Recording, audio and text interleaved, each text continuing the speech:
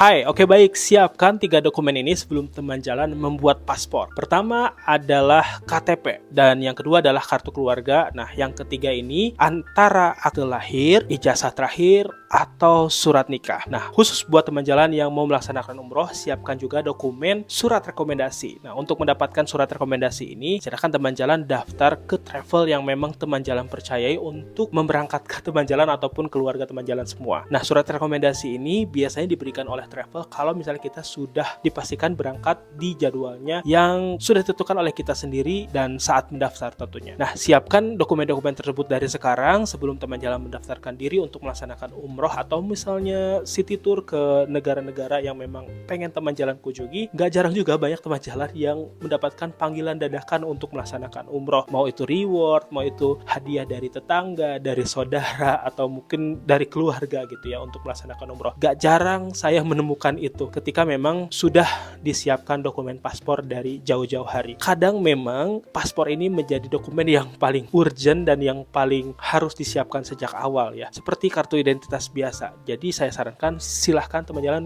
mumpung masih ada waktu buat paspor dan berdoa saat membuat paspor. Ya Allah mudah-mudahan paspor ini bisa bawa saja ke Haramain, ke Masjidil Haram dan Masjid Nabawi. Terima kasih. Silahkan tulis di kolom komentar jika ada pertanyaan dan follow akun saya untuk mendapatkan informasi update mengenai haji, umroh dan wisata muslim. Sampai bertemu di video berikutnya. Assalamualaikum.